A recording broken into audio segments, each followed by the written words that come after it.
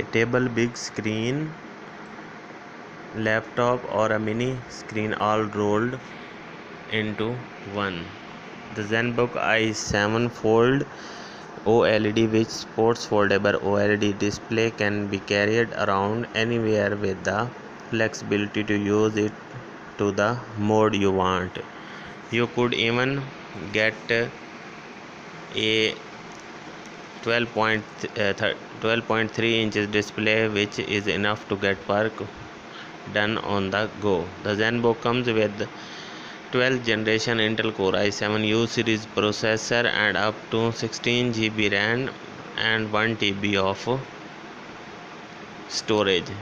In include asus ScreenXpert uh, 2 software also on its recent dual screen services to help you more split screen range in content. Through asus has not provided a battery life estimate yet. The zenbook i7 claims to have a 75 watt battery inside the zenbook i7 fold oled will be available in Q2 of 2022 with pricing to be announced. Read, write, work, socialize all while driving.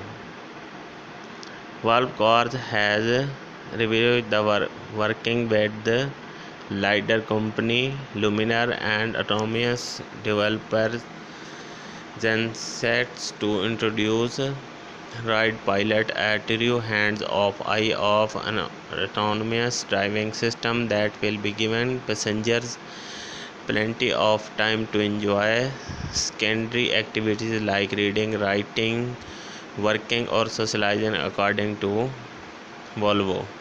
The system will be available in a subscription basis in upcoming evs in designed to function on highway and will allow drivers to take their hands off the wheel and their eyes off the road making in SAE level 3 system.